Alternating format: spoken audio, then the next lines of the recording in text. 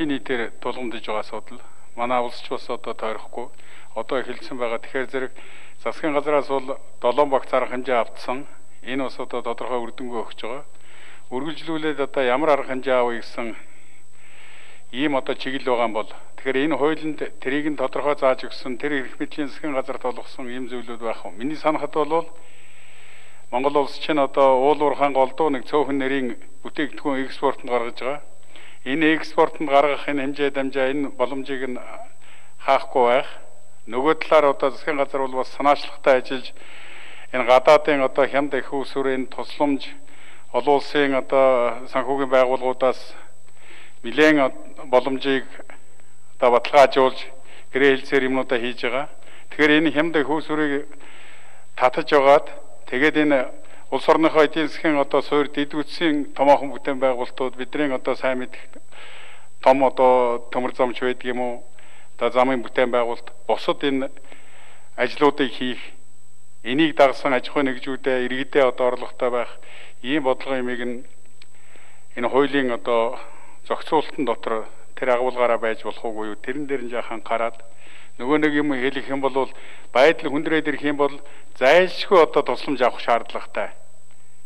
Тийм иргэддээ одоо хүнсний наазахын хэрэгцээний одоо зүйлсээр хангах ийм зүйлийг нэг анхааруулж өгмөр юм шиг. За гадаад улс оронд одоо ажиллаж амьдарч байгаа иргэдтэй холбоотой асуудлыг бол түрүү ярьсан учраас энэ дээр би давхардуулж хэлэх юм алга.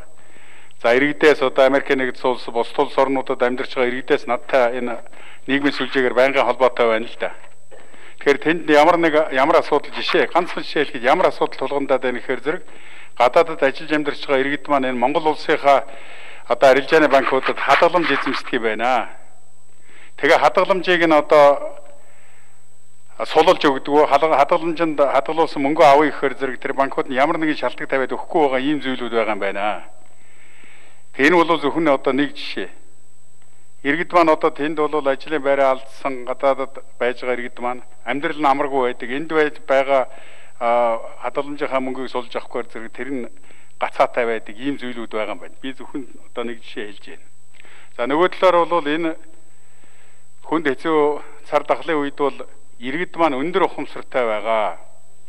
Харьцангуй одоо сайн байгаа шүү. Тийм учраас энэ сошиал нийгмийн сүлжээг одоо хязгаарлалтай холбоотой юм дээр туйлын анхаарал болгоомжтой байхгүй бол энэ одоо хөл орой хоригдсон ийм нөхцөл чинь бол нийгмийн сүлжээ нь IT одоо технологи ашигласан харилцаа холбоо энэ бусад бүх юмнуудын жаахан нээлттэй дүү байхгүй бол за тэр одоо алдаа дутагдал гаргаж байгаа хуурамч одоо аккаунт сайт юу гэдгийг хаягнуудыг одоо хаахтай холбоотой хариуцлага тооцох энэ зохицуул байлгүй яах. Энийг одоо нэг зохицуулж үзээрэй гэж. За 3 дугаарт нэг хэлэх гээд байгаа юм бол энэ цар тахлын одоо аюул хяналтаас алдсан улс орнуудыг хараад байх юм бол ерөнхийдөө одоо эрх мэдэлтэй шийдвэр гаргах төвчний тэр хүмүүсүүд нь бол бүр нэг тийм хэнэггүй. Ачаалбагдал өгөхгүй.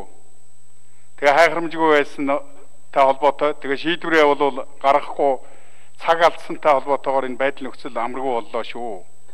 Тэгэхээр би юу хэлэх гээд байгаа юм гэхээр зэрэг өнөөдөр улсын онцгой комиссоос Батэрдник шүү нэмэлт 1 минут. Улсын онцгой комиссараас одоо гаргасан шийдвэр дэглэмийг иргэд маань уу сахиж биелүүлээд байдаг. Би өчигдөр байнгын хороон дээр асуусан. Энэ их хурлын гишүүдэд энэ эрх мэдэлтэй дарга сайд нартай хэн хариуцлага тооцох юм бэ? Юмыг наривчилж одоо гаргаж өгмөр. Энийг хуулиар наривчилж өгөхгүй өгөх чадхааргүй бол одоо ямар журмаар энийг нь одоо хөдөлгөөнгөө болгож өгөх юм? бид нар энэ social distance яг энэ зай хэмжээнд нь хуралдаж байгаа. Энэ хуралд сууж байгаа улсууд маск хэрэглэхгүй зүү зүүхгүй байж болно гэвэл тэрийг бүр тодорхой гаргаж өгмөр байна. Нэг хэсэг нь маск зүүж яадаг, нөгөө хэсэг нь маск зүүхгүй байдаг. Ийм байж болмооргүй шүү дээ. Тэгэхээр хууль бол одоо хүн бүр иргэн бүрт хэлбэршгүй, хэлбэрлэлтгүй одоо хэрэгжих ийм шаардлагатай байж. Хууль санаас ийм байж. Ийм хууль шиг асуулт.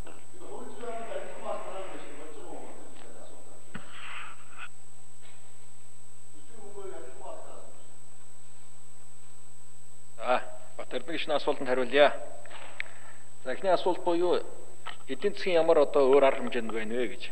Ямар болцоог нь хууль нээсэн бэ гэж. За нэгдүгээр засгийн газарт төсөв санхүүгийн онцгой эрхийг олгож байгаа.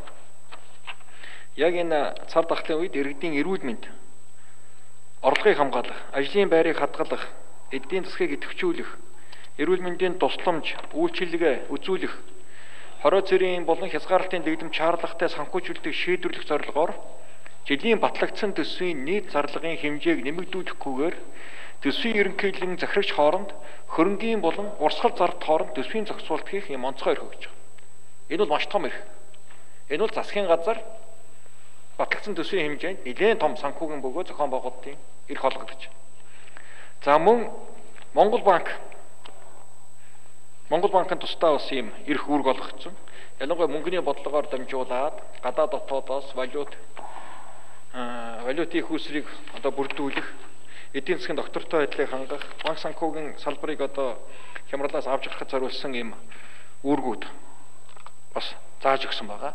Энийг энэ нөхцөл байдлаар тааруулаад энэ байгууллагууд өөр дор дороо хэрэгжүүлээд явах болцоо. Ер нь их эрх үргийг нээж өгч. Боломжийг нээж өгч байгаа. Тайлбар багсгүй. Их хурлаараа ороод ирэхээр ийм хууль мөрдөж байгаа болохоор бид нар ингэ хөдлөх болцоог байна гэдэг зүйлийг Монгол банкнаас ахуулаад олон газар тайлбар өгч байгаа. А гэтэл энэ нэг удаагийн энэ цар тахалт тэмцэх хуулиар тэр эрхийг олгоод одоо эндээс бол ямар нэгэн албан тушаалтан засгийн газар бол төрийн байгууллагууд тайлбар тавих хэрэггүй болж байгаа. Эрх зүйн орчингийн их хурл бүрэн бүрдүүлээ өгч байгаа. Одоо их хурл юу хийх вэ гэвэл энэ их хурлын том эрх байгаа. Сар тутам энэ асуудлыг тайлан сонсож мөн их хурл дээр одоо ийм төр хороо байгуулагдаж байнга одоо энэ үйл ажиллагаанд хяналт тавина. Хяналт тавьж үйл ажиллагаанд тасралтгүй шахна.